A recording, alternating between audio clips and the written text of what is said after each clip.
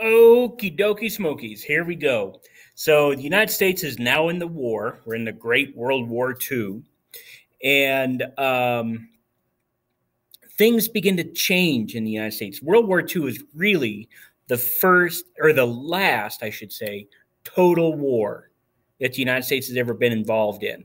And by total war, I mean everybody in the country, young and old, male and female, um, everybody feels the effects and the impacts of the war. Everybody's lives in the in in the country um, has their lives changed in some way by the war. Last total war. We haven't had one since World War II. So this is a pretty remarkable war. Um, on the screen here, you see a couple of uh, different um, posters, propaganda posters from World War II. On the left, you see uh, your typical stereotypical American children, and they're out playing, and um, the shadow of the swastika is beginning to come down on them. And it says, Don't let that shadow touch them, buy war bonds. So, war bonds were uh, things that uh, the government sold, and they were big uh, productions of celebrities who go out and encourage people to buy war bonds. And basically, what it was is that people would buy bonds from the United States government, and it was like loaning money to the government to go fight the war because wars are expensive. So this was people loaning money to the government. They'd buy these bonds, and then the government promised, you know, hopefully if they win, um, in 10 years, they'll pay the people back plus interest. So you're buying these bonds, loaning money to the government, and the government's going to pay you back with interest um, after some period of time. On the right, you see a family, dad's protecting the family, and it says, This world cannot exist half slave and half free, which was a quote by um, from Winston Churchill. And it says, Sacrifice for freedom. And you see guys getting whipped, and there's a claw coming up from behind to grab dad. And um, the idea was that um, people in the United States, this is part of the total war effort. People in the United States were expected to sacrifice things that they did. They were expected to sacrifice the amount of food that they ate, the amount of gas that they consumed, the amount of um, uh, goods and services that the United States consumed. We were uh, Americans were were expected to use less so that more could be sent overseas to the soldiers. So that's what that uh, propaganda poster means. Uh, sacrifice for freedom, right? You know, if you sacrifice here, you're not going to live in fear because bad guys are going to come and dominate the country. All right, so let's get into it. World War II society on the home front.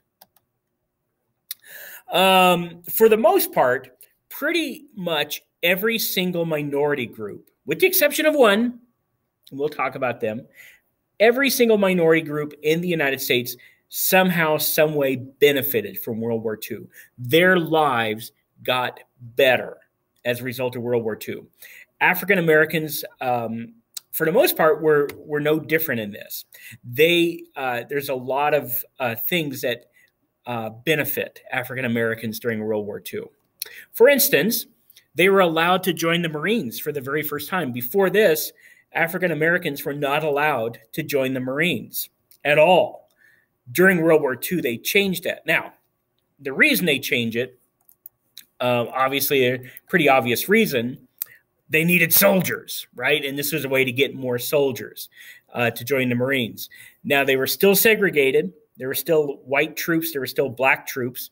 The the equipment, the materials, the uniforms, the living conditions, everything for the black troops was inferior to what the white troops got. But for the first time, they're allowed to join the Marines. The Marines, for the first time, begin to allow African Americans to join them. Uh, they're allowed to join, they're allowed to fly in combat for the first time. Uh, African Americans had never been allowed to fly planes in combat, and now they were. There was a uh, a specific flying unit specifically for African Americans called uh, the Tuskegee Airmen, and they're flying their their fighter planes were called Red Tails. because the tails of their planes were painted red. Uh, this becomes one of the highest decorated um, combat troops during World War II. That is also the only fighting, uh, flying fighting unit during World War II not to have a plane shot down. The Tuskegee Airmen, Red Tails, were the only ones not to lose a plane in combat during World War II. Oh, that's pretty cool. We also get our first uh, black U.S. general during World War II. This guy here, name is Brigadier Benjamin Davis. He's mostly in the Pacific, uh, and he's leading uh, only black troops. We don't have integrated troops yet. That'll come uh, a little later in the 1940s under President Truman. So he's leading uh, African American troops in the combat, but he is our first general in the United States military who uh, is is not white. So that that's pretty exciting. That's pretty good news. But perhaps the biggest impact for African Americans in the United States overall comes in terms of their ability to get jobs. And during World War II, we have what's known as black migration. And what it is is that there's this um, a very large number of African Americans who begin to move from the South okay, prior to World War II, around 80% of the uh, African American population in the United States all lived in the South. They were still there kind of from the Civil War. During World War II, there is this huge movement of uh, blacks out of the South to the North. And they go to the North because this is where all the factories are and there's lots and lots of jobs there, right? Remember, World War II is what ends the Great Depression because all of a sudden there's this huge demand for supplies, right? We've got to make weapons, we've got to make um, um, um, vehicles and planes and ships and bombs. And there's this huge demand for war material, which kicks all of these factories, which had been, you know, kind of shut down for the most part during uh, the Great Depression, all of a sudden they come back to life and are making things for the war uh, effort. And a lot of the guys that had jobs there, who were lucky enough to have a job, a lot of them have now been drafted and they're in the, in the army. So those jobs need to be filled. In addition to that, because of this huge increased output during World War II, there's new jobs being created. So there's a lot of blacks who move out of the South to the North to fill these jobs. Okay. And a lot of northern cities, Denver included, has their black population more than doubled during World War II, right? Denver doesn't really have a very large African American population prior to World War II. Our African American population more than doubles during World War II because there's an, uh, a very large uh, war industry here in Denver called Gates Rubber Plant it's not really around anymore. The building is still there. You can still see the the old factory. It's now a, an office building. It's on I twenty five and Broadway, on just to the south of I twenty five on Broadway. There, it's the old Gates Rubber Factory. At that time, Gates uh, was one of the largest rubber manufacturers in the world. So during the war, there's this huge demand for tires and for belts and for hoses and uh, for straps and things like that for uh, that that required a lot of uh, rubber. So Gates Rubber Company becomes this huge war industry, and it attracts a lot of African Americans in Denver, and we see our, our population more than double. Okay. Now, as African Americans begin making more money than they had ever had before, the um, inequities in society become even more pronounced, right? It, it becomes very obvious that there are uh, real differences between how white Americans are living and how black Americans are living because now they're making more money. So now they can go out to dinner and they can go out to uh, other, you know, public events. Um, because they can afford it now. And as they're going out, they're realizing they're it's a very segregated society. So the inequities and the segregation between whites and blacks become even more evident as they begin to make more money and have the ability to go out and do more things. As a result of this, membership in uh, equal rights organizations and renewed interest in civil rights begins to rise. And we see membership in, in organizations such as the NAACP begin to go up uh, a lot. Now, not everything is hunky dory. Okay? As the number of black workers increased in the factories, so did a lot of resentment and a lot of anger towards uh, black workers in the workplace begin to increase as well. And we begin to get some really, really, really tense, very bad situations begin to take place in workplaces uh, around the country.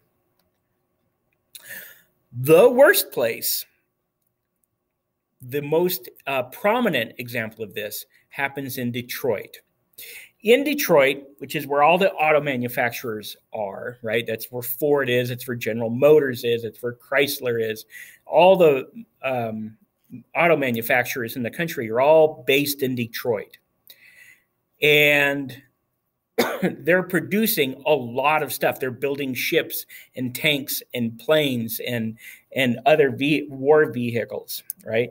Um, so if somebody buys you just by the way. If someone tells you, "Oh, I've got a great deal on a 43 Ford for you," tell them, "Oh, you you big liar," because there is no 43 Ford made. Right during World War II, all uh, vehicles for all cars for public consumption, just regular everyday cars, they don't make them anymore. They've stopped making cars to be sold to the general public because all they're doing now is making war material ships and planes and and bombs and and um, other uh, tanks and things like that. So, anyways, in Detroit, in these auto manufacturing plants, uh, there was a large number of whites who were not happy about having to work next to a black person, who were angry that, gosh, this black person may have taken a job from a white person who could have used this job. So there is a strike that takes place in Detroit to protest a number of, of um, blacks that that are being hired. And in the picture here, you you can see what's happening in the picture. This is at a Ford uh, factory in Detroit. And what was happening is that the auto manufacturers would send out buses into black neighborhoods because they weren't allowed to live in the white neighborhoods. And the black neighborhoods usually were way far away from the factories. So they would send buses out to pick up the black workers and bring them into the factory. And when this riot, when this strike takes place, which turns into a riot, um, white workers were in the parking lot waiting for these buses to come, come in with the black workers. And when the buses pulled in, the white workers would force open the bus and they would drag the blacks out of the bus and just beat the bejesus out of them. Okay. So this strike ends with three days of rioting. And at the end of the, the three days of rioting in Detroit that basically shut down the city, 25 blacks and nine whites have been killed. Okay. The only reason this ends is because Roosevelt has to send in the army to basically patrol the streets like a like an occupied city. so there's armed soldiers and uh, tanks and things rolling up and down the streets of Detroit to stop the rioting. Okay. Similar riots take place, not on as big or as um, um, yeah, as, as big a scale as it did in Detroit, but there are similar riots that take place in, in places like Denver, Chicago, St. Louis, Indianapolis. All of these cities see the number of uh, blacks in their cities, African Americans, more than double during World War II, and there's a lot of resentment and anger about this. Now, the most famous race riot of the time, the most famous uh, riot of World War II involves a very different ethnic group in a very different city for very different reasons. This uh, very famous riot involves these people.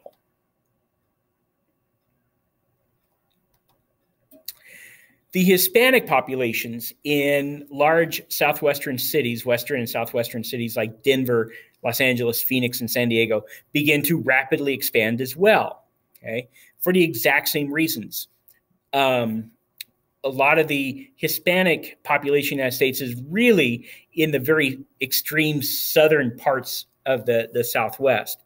And during World War II, all of a sudden there's all these jobs in these factories and other war related industries. And so we begin to see this migration of Hispanic populations from the extreme southern uh, Southwest into places like Denver, Los Angeles, Phoenix. And so the Hispanic populations in these cities begin to rapidly expand, just like they did in northern cities with African Americans. Okay. And they're coming up here to take advantage of these really good jobs, these war industry jobs. Okay. And young Hispanic men who uh, haven't been drafted or won't be drafted for various reasons, they're making more money than they had ever imagined that they could. They're making more money than their parents are. They're making more money than their parents ever had. And they've got this money, you know, to kind of, they, they want to show that they've got money. You guys know how it is, right? You guys get some money in your pocket and you're not going to go clink, clink, clink, clink, put the money in the bank. Oh, nay, nay that money's going to burn a hole in your pocket. Like you got to spend that money. You want to, you know, spend the money. And same with these young guys. So they want to go spend their money. Problem is, because of World War II, there's not a lot of things out there to spend their money on, right? They can't go buy a car because there's new cars are not being produced. So people that own a car during World War II probably are not selling it because it's really hard for them to go get another car. So they have to find, these young guys have to find other ways to show off their newfound wealth. And what they end up doing is that they adopt a very loud, very flashy, um, very expensive style of dress, a very distinctive style of dress. And it's very expensive and it's very noticeable. I mean, it, the, the style of dress really stands out.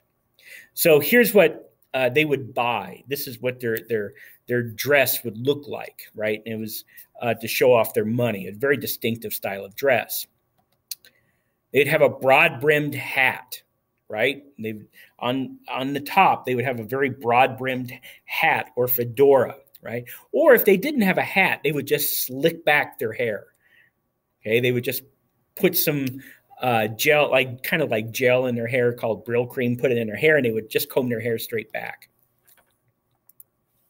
They'd wear a long waisted coat, so the the the the coat instead of ending just below their waist like most coats do, would go down to about mid thigh level, and it was broad shoulders. So the shoulders were larger, were a little bit larger than their actual shoulders, right? So the, the coat kind of extended beyond their, their actual shoulders. They'd wear a broad collar, so it was a wide collar, and uh, they wouldn't button it up, right? They would leave the top collar unbuttoned, and um, they would lay the, the, the collar of the shirt on top of their coat. They'd wear baggy, not crazy baggy, like you know guys wear today, where you're crotch is hanging down to your knee and you have to walk like a penguin to keep your pants up, right? But they were loose, baggy, pegged pants. So pegged pants are pants that kind of, as they come down the leg, they get tighter around the ankle. Okay, so they're kind of wide up around the thigh, and then they come down to the ankle and, and they begin to get uh, tighter around the ankle. And then they would have a watch or a wallet, or sometimes nothing at all connected to a long chain that would connect to one of their front belt loops. And the chain would come down almost to their knee and then come back up into their back pocket. And then they would wear these thick, heavy soled shoes, kind of like Doc Martin, old Doc Martin shoes, right? They're very thick, heavy soled shoes. So this is what they look like. A zoot suit. Hey, these are zoot suiters very expensive. The colors were very loud and they very often they would clash. It was a very distinctive style of dress for young Hispanic men. Cost a lot of money to dress like this. Now, here's where the problem comes in.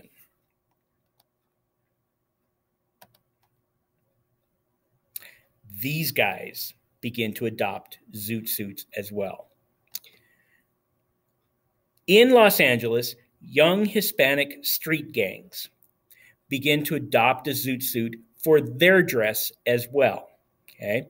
So now it becomes, people come to believe that since all gangbangers are wearing zoot suits, then all zoot suiters must be gangbangers. Now, you guys know that's not true, right? Just because everybody who's in a gang is wearing a zoot suit doesn't mean everybody who wears a zoot suit is in a gang. But to the general public mind during World War II, that's what was happening. If you were wearing a zoot suit, you were in a gang. Okay. And it even goes so far as the Los Angeles City Council even uh, seriously debates, seriously talks about outlawing all zoot suits in the city and county of Los Angeles, like making it against the law to wear a zoot suit. So here's how all, all, of this tension around zoot suits and street gangs begin to build up. And in 1943, there's a dance hall in Los Angeles. A dance hall is like a club, except you know they don't have a DJ or whatever. They have an actual band, and there are a lot of military installations, Army and Navy, around Los Angeles. There are a lot of military bases around Los Angeles. So at this particular club, uh, at this particular dance hall, it was about half and half. Half were military, half were zoot suiters. Some of the zoot suiters were certainly gang members. So in 1943, uh, this zoot Suiter went up to the girlfriend of one of the soldiers and asked her to dance. And she goes, Ah, you know, I'm here with my boyfriend, you know, thanks, but no thanks. You know, I just want to be, hang out with my boyfriend. And um, the boyfriend comes back, the soldier comes back, and he tells the zoot suiter, Look, you know, she didn't want to dance with you. There's lots of other girls here why don't you go ask one of them to dance and leave my girlfriend alone? Well, then, you know, words are exchanged and um, it turns into your typical guy fight with the guys flapping their arms like a chicken. You know, well, I'm not going to throw the first punch. You do the and they're calling each other's names. They're kind of walking around, flapping their arms and calling each other names and daring each other to throw the first punch. And you know, just the silliness of of guy fights. And then eventually, the guy fight turns into a chick fight where they like actually go at each other and they're throwing blows and everything. So the the the soldier, he's a sailor, punches the zoot suiter, knocks him down. Now this zoot suiter happens to be a member of a gang. And he comes up and stabs the soldier. And then it's on. Okay. Once the zoot suiter stabs the soldier, the other soldiers in the um, dance hall go after all the other zoot suiters in the dance hall. And it just turns into this massive riot that spills out into the street. Okay. Now, because this is a military town, word begins to spread very quickly throughout the military bases and throughout the city about what had just happened. A Hispanic gangbanging zoot suiter stabbed a soldier. And it was on. And it gives us the Zoot suits, Zoot suit riots. This is known as the Zoot suit riots. So here's what happens. As word begins to spread throughout uh, Los Angeles, soldiers and other people just load up in cars and begin randomly driving the streets of Los Angeles looking for anybody who's wearing a zoot suit. And when they find them, they would pull over and they would just beat the bejesus out of the zoot suiter, right? And you can see that happening in the picture here. This is a zoot suiter they found out on the street and they jumped out and you can see the guy's got a bat and he's about to just, you know, waylay this guy. So then the zoot Suiters, of course, retaliate and they go after the, the soldiers and it just becomes this very chaotic weekend in Los Angeles. Woof. But again, for the most part, Hispanics, like African Americans, definitely see their lives improve as a result of World War II and this demand for uh, war materials, which creates this demand for uh, increase in jobs and good paying jobs and so on and so forth. Now, the one group who definitely do not have their lives improve. One group. And let's talk about it. It happens because of this Executive Order 9066. And there it is. It's all about Japanese. Roosevelt signs this into law February 19, 1942. Pearl Harbor has just happened about two months prior to this. And there was this fear that the Japanese, that Pearl Harbor was just a beginning, and the Japanese were in a process of planning an attack and an invasion into the western part of the United States, which really was not all that far off, right? The Japanese definitely were planning this, and this was something the Japanese definitely wanted to do, but they weren't they had a long way to go before they could actually do that, right? They had, you know, other things that they had to take care of before they could actually get to the shores of, of the United States. But there was this real fear in the United States. People were terrified of this. And people in the United States become uh, begin to believe that all Japanese people living in the country were spies for Japan and were helping the Japanese plan and carry out this attack. So this was Executive Order 9066 was about keeping this from happening. Okay, it orders all Americans living west of the Mississippi that are 1 16th, 1 16th Japanese. That's hardly anything. 1 16th Japanese to report to a local quote unquote internment camp where they would remain for the rest of the war. Woof. Okay. Now, we don't have internment camps, so we have to build them.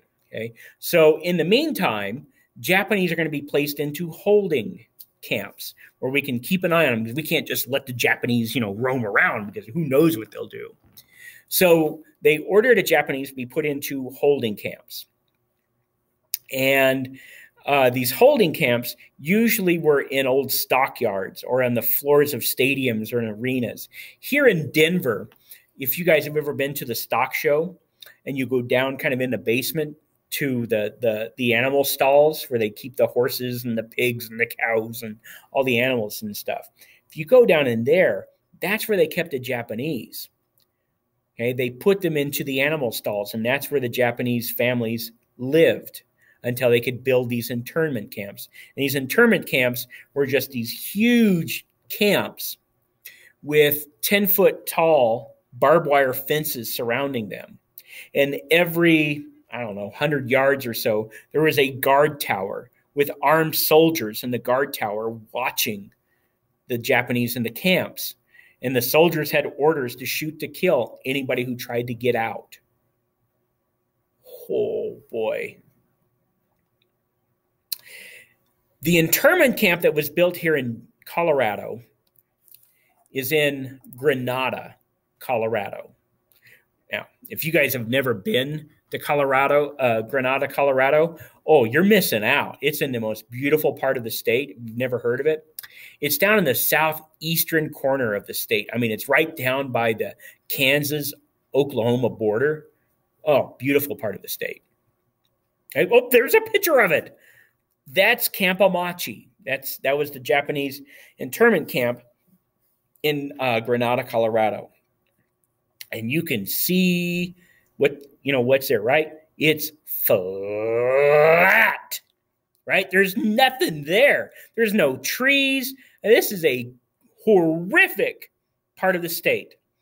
But they put the Japanese there because they were so at, at that time, still today, but especially in 1942, this was so far away from um, from any large population center. So they were like out in the boonies. Okay. So it's located, Granada is located in the southeastern corner of the state, Camp Amache. Okay. And these camps, they're basically shacks, okay, that are surrounded by hard wire, hard barbed wire fences with armed guards and so on and so forth. I told you, you know, like I told you. And you can look at these cabins here, at these at these huts.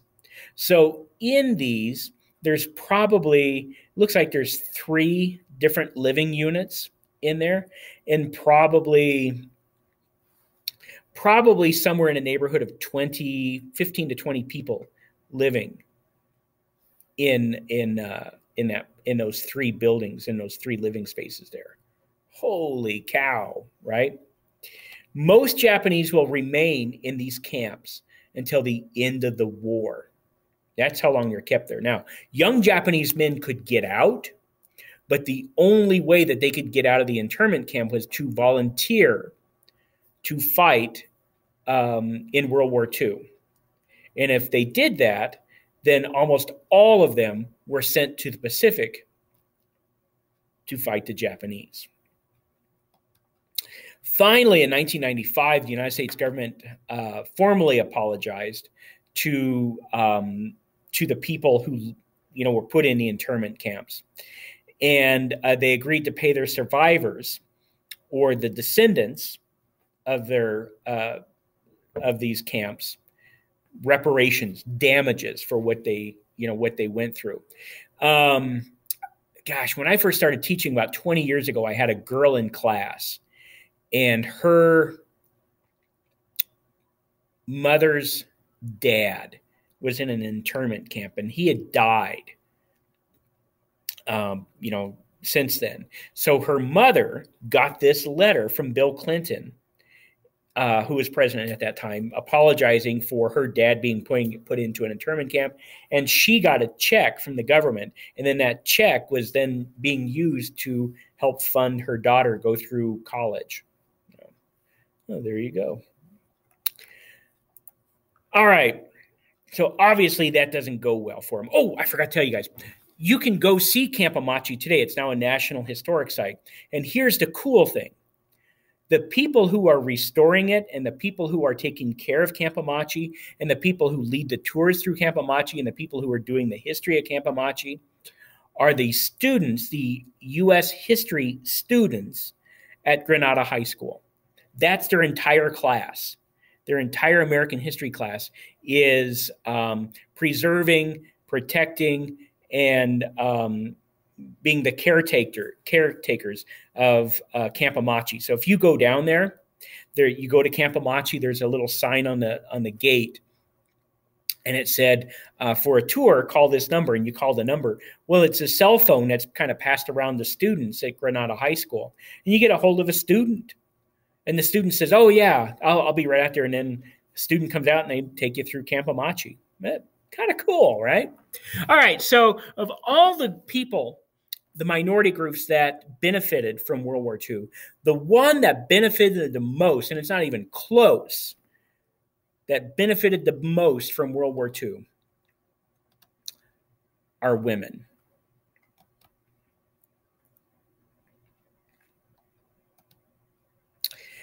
Women benefit more from World War II than any other minority group during World War II. Okay. Um, now, women are not allowed into combat in World War II. They're not allowed to go off and fight the war.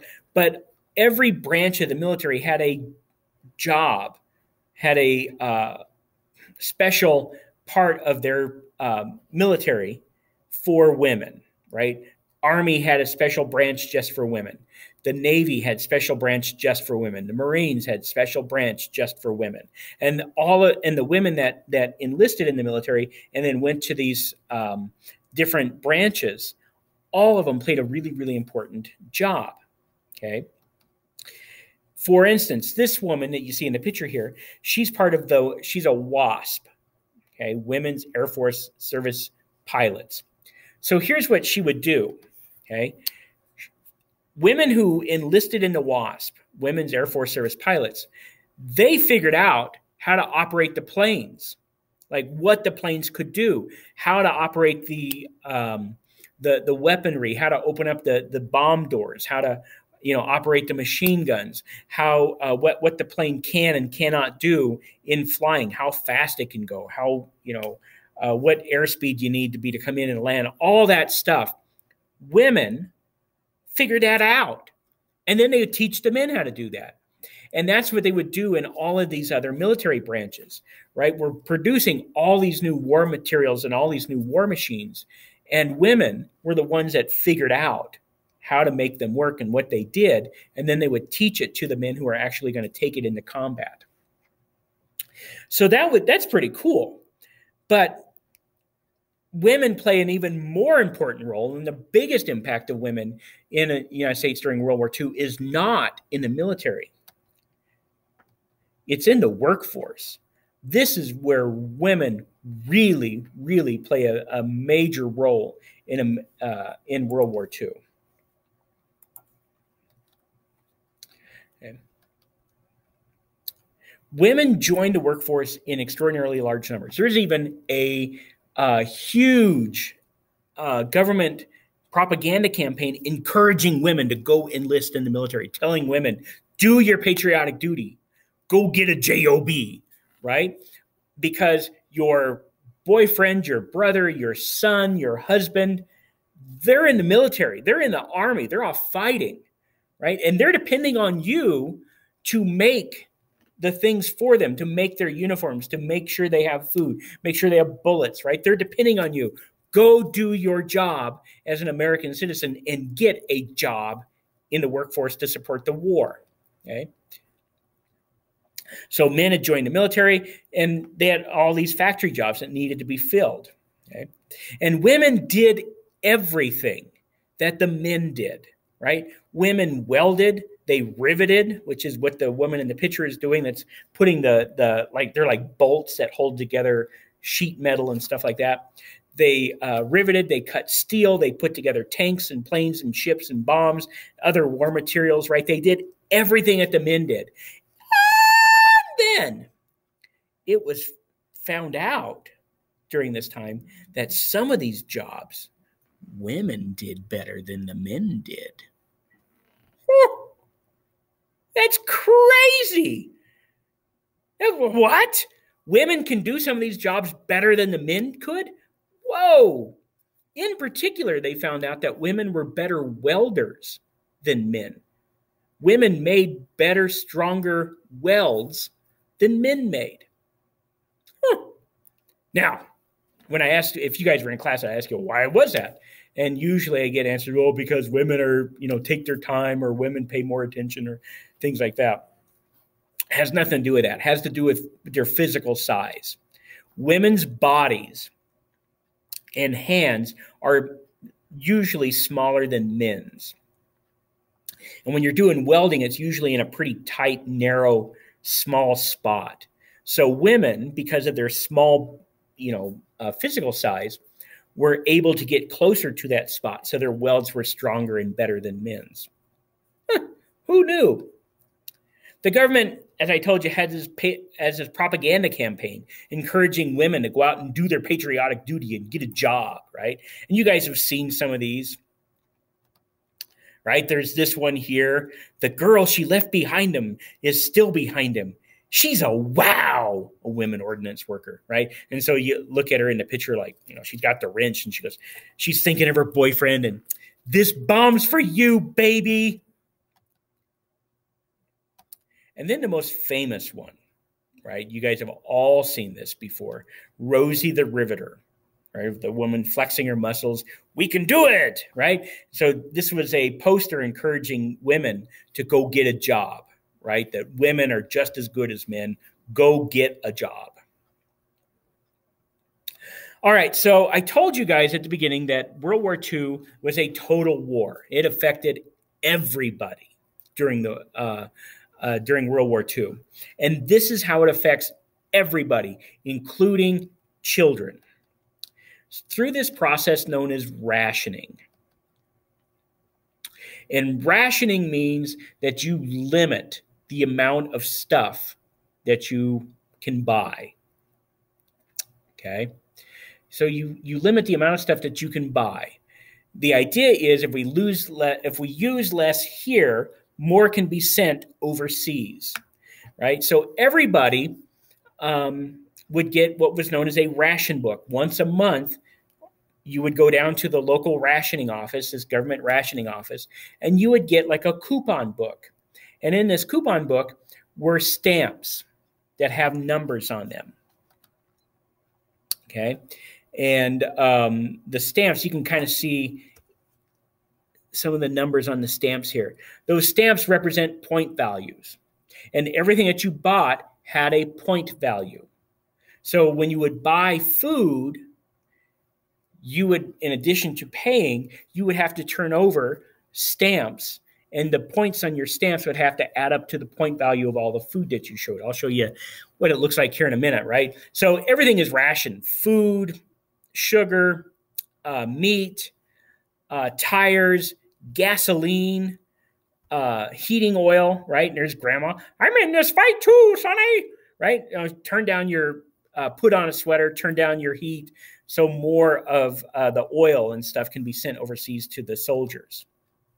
Okay, nylons are were um, were rationed. Right, it was hard to get nylons, and this was a big deal for women back then. Right, um, they don't have um, what become known as as pantyhose today. They have nylon stockings. Right, and so women, because they're all wearing dresses, it's really important that they wear nylon stockings back then.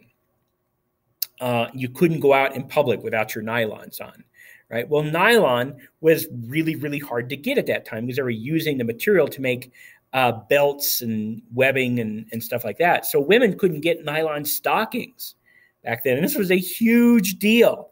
Women couldn't get the their their nylon stockings, you know, for their dresses and stuff. And my grandma told me that when she would go out uh, with her friends to dance or whatever during World War II, to give the appearance that they had nylon stockings on, they would take mascara, eyeliner, and draw a black line up the back of their leg. So it looked like they had nylons on because nylons back then, if you've ever seen old pictures of, of women from back then, they have this black line down the back of their leg when they're wearing a dress or whatever. That was the seam from the nylon because the material for the nylon would overlap and that's where they would make the sew, make the, uh, you know, sew it together.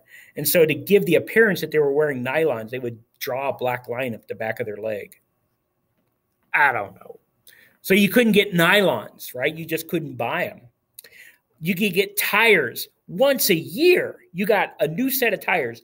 And tires back then were not as good a quality as they are today, right? They frequently blew out. Very rarely do tires blow out uh, today. They did back then. Okay, if you guys have watched a Christmas Story, right, when they went got the Christmas tree, there's a uh, the tire blows out. Doesn't seem to be a big event. It's like a normal everyday event, you know. And he even says timing. He's going to go out and you know see how fast he can change the tire. Today, very rarely do tires blow out. Okay, back then they blew out a lot. They just weren't as good a quality, but to conserve on the amount of rubber and the amount of tires that are being used in the United States, you can only get one set of tires a year. And you had to have this certificate saying that you can get a new set of tires. Okay. Here's the points that I was telling you guys about. So when you would, this would be uh, something that was on the cashier register. So when you went up to pay your food, okay, you bought, say, a pound of peas for whatever reason, whatever reason you bought a pound of peas, it cost 16 points. So in addition to paying for the peas, you would have to open up your ration book. And everybody in your household had a ration book, right? From the very youngest to the very oldest in your household would have a ration book. And in that ration book were stamps with numbers on them. And um, the older you were, the more points you got. So you'd have to pay, and then you'd have to give the cashier stamps from your books that added up to 16 points, right? You get um, sliced pineapple. That was 24 points. That was a lot of points. Okay. So this is what it looked like. Okay. Two pounds of tomato juice. I guess if you like tomato juice, 32 points. You had to pay for it and then pay 30, give, a, give over these stamps. Okay. This was a certificate saying that you could go buy sugar. Back then, people baked all the time. So sugar was really important, right? So this allowed you to go get sugar. And here's some of the stamps. These are kind of what some of the stamps look like. You can see they have different values, right? This is worth five points. This is worth two points. Uh, this one here is worth 32 points. So you would, in your ration books, which looks like this, if you guys were in class, I've got ration books that I would show you guys that my grandma had. It would come in a ration book that looked like this, and you open up, and here's the stamps. And then you would give these to the cashier or whomever.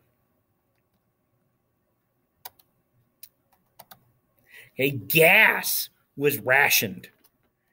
Okay, most people, if you had a car, you would get this sticker in your window, this A sticker, meaning that you got four gallons of gas a week. That was it. Okay, so when you went to the gas station, and back then you didn't pump your own gas, they had gas station attendants who would come out and give you, you know, pump your gas. They would come out and they would see that sticker. They knew you could only get four gallons of gas, and you'd have to give them a ration stamp with the date of that week saying that you could get your four gallons of gas that week. You got your four gallons of gas, and then you went out cruising around and going all over town, and you burn up your four gallons of gas. You be walking until next week because you ain't getting no more gas, right? Now, if you were a doctor or somebody like that who had to drive a lot, back then doctors came to see you. You didn't go see the doctor. You got this sticker, and that gave you eight gallons of gas. Oh, so you really had to be careful because the less gas that we use here, more gas can be used overseas for the soldiers. So you really had to be careful about how much gas you actually were using. Okay. To get around rationing, people were encouraged to grow victory gardens. And this is when uh, backyard gardens kind of come back into style, right? If your family has a garden in their backyard, your family grows their own food, during the summer or whatever. Okay, it goes back to World War II because really, once we um, get through the Industrial Revolution of late 1800s, early 1900s, most people are living in cities, and most people don't see a need to grow their own food anymore. During World War II, because of rationing, right? People begin to grow their own food again. They begin to have their own backyard gardens because you could grow as much food as you wanted and you could keep it, right? There's no law preventing that. Or sometimes schools or people with very large yards would grow gardens specifically to uh, grow food to add to whatever was being shipped overseas to the soldiers, right? So here's some uh, propaganda posters encouraging people to grow their own food, right? And the one woman on the left there, of course I can, right? Meaning that she cans her own foods. I'm patriotic as can be, and ration points don't worry me. She can grow as much food as she wants, and she doesn't have to worry about rationing it. This is all the food that she wants, right? Which, again, frees up more food to be sent overseas because now she's not buying it at the store. All right, so there you go, guys. That's a really quick overview of uh, the war effort in the United States during World War II. This was a total war, meaning everybody in the country at some point in time felt the effects of this war. This war impacted and affected everybody's everyday lives somehow, some way. All right, guys, we'll talk to you guys later. Bye.